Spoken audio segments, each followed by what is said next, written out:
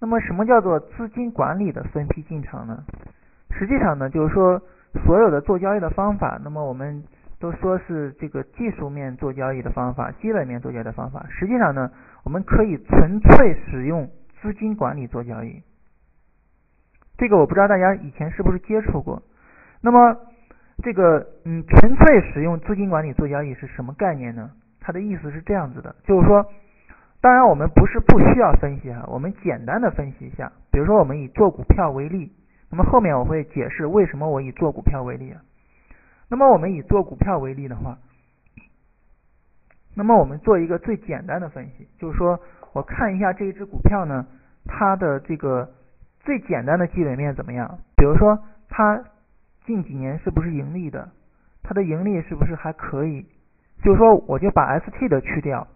把高市盈率的还有亏损的去掉，然后剩下的就都可以做了，那肯定还能够剩下很多很多。那么我们做我们怎么样做呢？我们这样去做，我先写一下，然后再解释。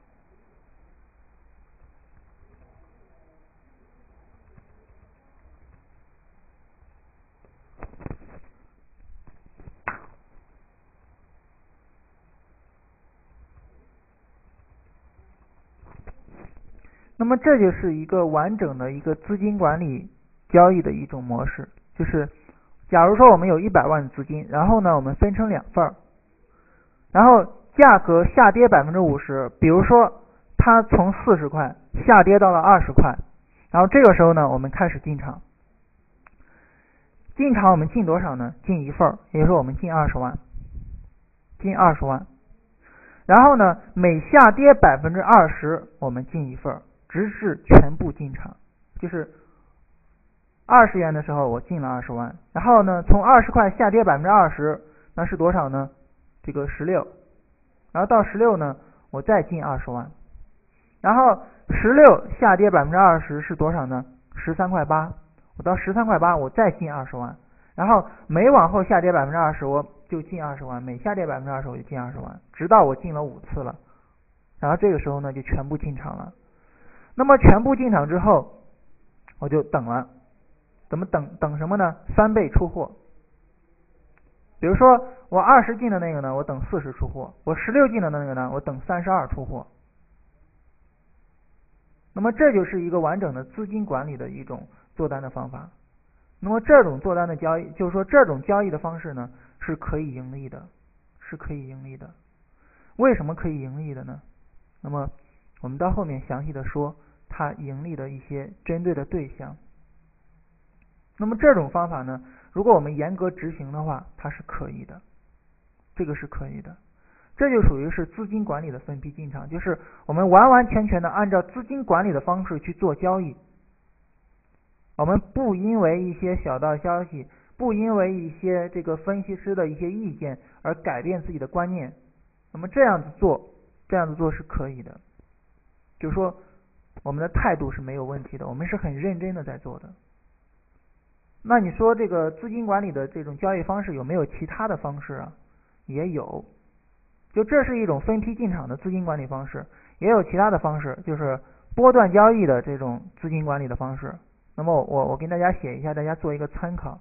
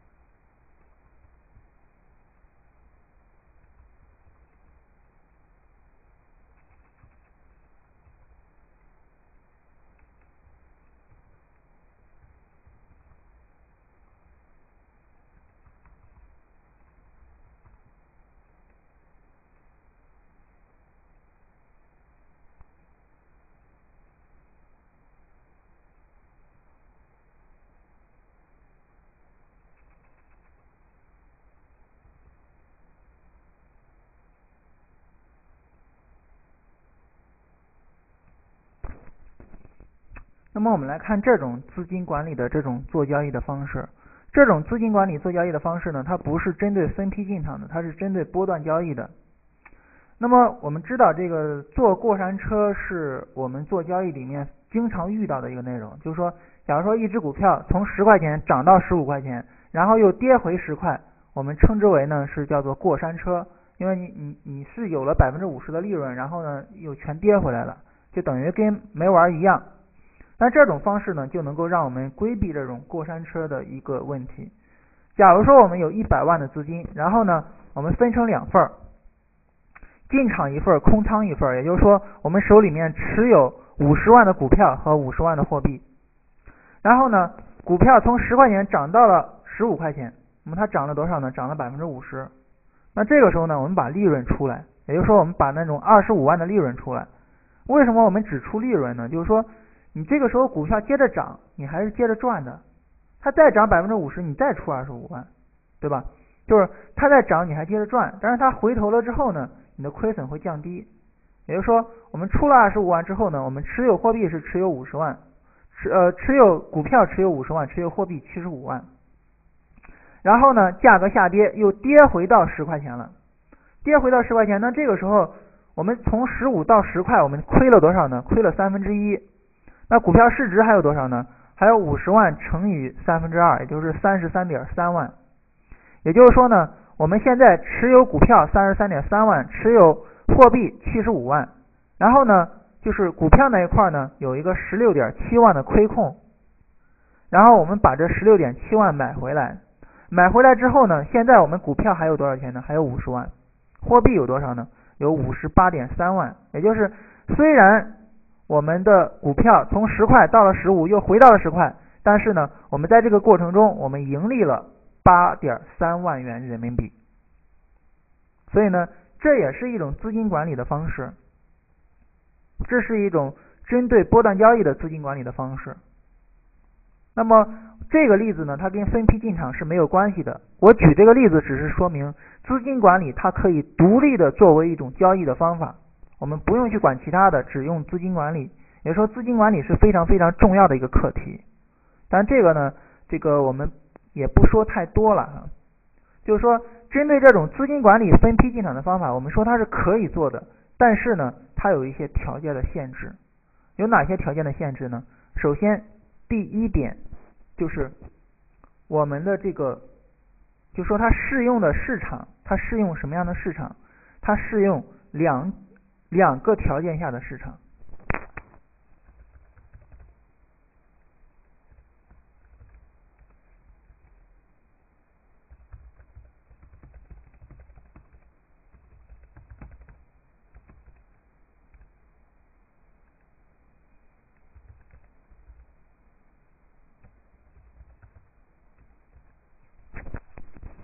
它适用两个市呃适用的市场呢要。有两个条件，第一个条件呢，就是历史上看是单向的，或者说我们准确的说，历史眼光看，用历史的眼光去看，那么它是单向的。什么叫做用历史的眼光去看呢？就是说，它从有这个市场到现在，整体上它是往上在走的。比如说股票是这样的，比如说黄金是这样的，外汇不是的。外汇不是的，外汇它是呈现出来一个大的一个区间，它不是的，商品也不是的，就原油、铜它们也不是的，股票是这样子的。为什么我上面举例子我不举外汇的例子，我举股票的例子呀？因为外汇不适合，股票适合。因为外汇是区间的，股票呢，从历史上来看，就是以历史的眼光，以大的视野去看的话。股票是单向的，它是一直在涨的，尽管中间有一些大幅的回调，有这个回调百分之五十的，有回调百分之七十的，尽管有这样的，但是我们的这个股票还是从一百点到现在到了三千点，就整体上历史性来看的话，它是向上的，而且那个六千点的那个高点，它是必然要越过去的，一万点是只是时间问题。是什么时候会到的问题，不是说会不会到的问题。当然，这个时间可能会很长，但是它会一直涨上去的。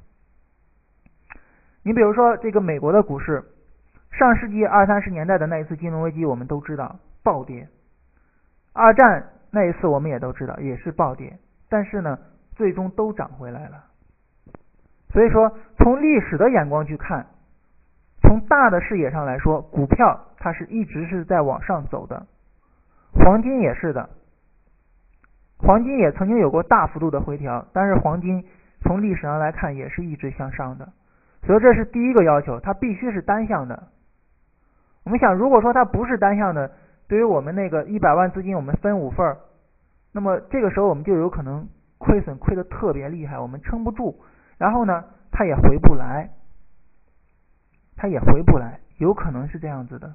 你比如说像什么呢？比如说像那个这个四川长虹，我们在六十四的时候进去了，要在六六十四的时候，我们等它跌一半，到三十二的时候，三十二我们进了一份，然后每向下跌百分之二十，我们进一份。那三十二跌百分之二十，跌了多少呢？跌了六块钱，三十二减六块，二十六。二十六我们又进去一份儿，二十六再往下跌百分之二十，那就是跌了将近有五块钱吧。二十一我们又进去一份，现在都进去三份了。二十一再往下跌百分之二十，就将近跌四块钱。这个十七的时候我们又进去一份儿，三份儿。十七再往下跌将近三块，十四我们又进去一份儿。十四再往下跌到十一我们又进去一份儿，就是五份儿我们从三十二进到了十一，从三十二到十一我们把五份全进去了。进去之后呢，我们说翻倍出货，那那我们这五笔单子，我们现在依然还在里边，什么时候能够出货呢？那那都不知道什么时候的事情了。所以说呢，就是要求他历史的眼光看是单向的，那意思就是说，我们进去之后，我们永远是出得来的，我们是能够翻倍出来的。所以这是一个很很重要的一个要求，就是它必须是像股票一样，你买进之后它肯定是涨，只是一个时间问题，你就等吧。那么第二个呢，就是它允许大亏。当然，我们已经跌了百分之五十，我们才进的。然后每下跌百分之二十，我们我我我们进一份。等我们进完了，它可能都跌了百分之七八十了。就这个时候呢，它也有可能还继续往下跌，它有可能跌百分之九十。但是呢，我们说它跌我无所谓，我等。也就是说什么呢？我不会有爆仓的危险，我不会说。爆仓了，把我的仓爆掉了，然后又回来了，这个危险我没有。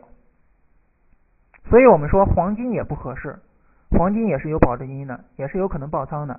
当然你说我不使用保证金，或者说我的保实际保证金比例我控制在一比二、一比三啊，这个时候也允许，也可以。那对于股票来说，你跌多少都无所谓，只要它不退市，我只要能等得回来，我等就是了，对吧？所以它适用的市场就是：第一，以历史的眼光来看是单向的，比如说像股票跟黄金一直是在往上走的；第二个呢，它允许大亏，它不会出现爆仓的情况，只要价格能回来，只要你真的耐心的等，那么这个时候你就能够翻倍获利出来。所以它适用这样的市场。那么它适用的人群是什么样的呢？就是没有时间的，没有专业知识的。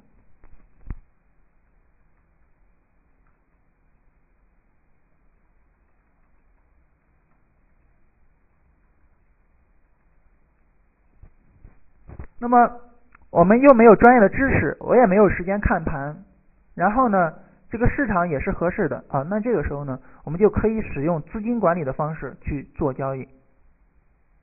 那么既可以按照我们后面所说的这种波段性的资金管理方式，也可以使用这种资金管理分批进场的方式，这样呢很简单，而且它肯定是可以获利的。所以呢，这种方法我们对于它的态度就是。我们是允许的，我们也是鼓励的。我认为，对于没有专业知识的人做股票，你与其听电视上的那些人的，与其这个听小道消息，不如使用这种资金管理的方式进场，不如使用这种方法在做交易。只要你坚定信念去做，你肯定是可以盈利的。所以说，我们对于他的态度就是可以用，而且鼓励。那些没有专业知识的人去用。